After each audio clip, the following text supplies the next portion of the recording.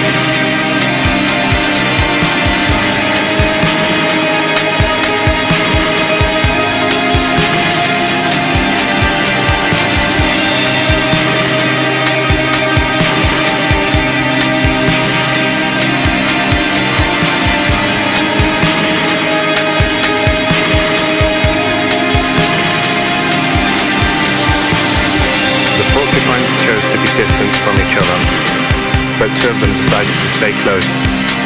They were so close that they could feel the breath on their necks, so close they could feel the heartbeat under their skin, so close that they could feel their blood slowly drip on their bodies. And it was pleasant, it was warm.